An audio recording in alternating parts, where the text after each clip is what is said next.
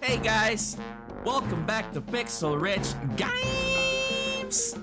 And today's episode is all about how I solve the Ha Dahamar Shrine. Alright, on to the video!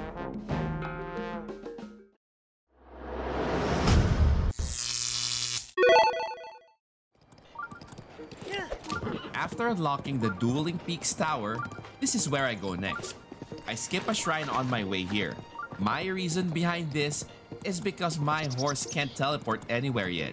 And Ha Dahamar Shrine is a teleport spot for the Dueling Peaks stable where I can get my horse back, ignoring where I last left it. So once I set my eyes on getting the one I skipped, I can easily teleport back here and get my horse and I'm still on the path leading to Kakariko village. The entrance to this shrine is actually a taste of what's inside.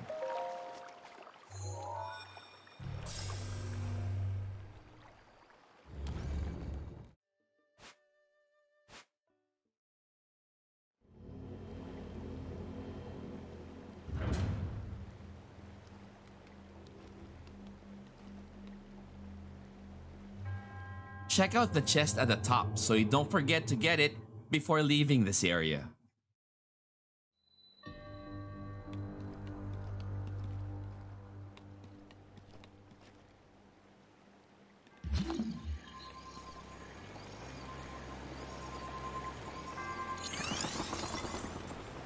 Okay.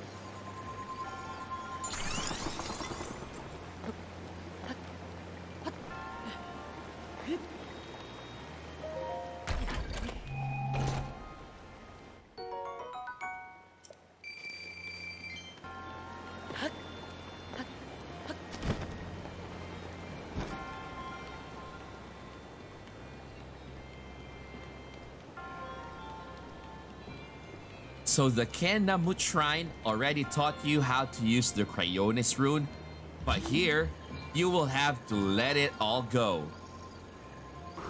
Free your mind.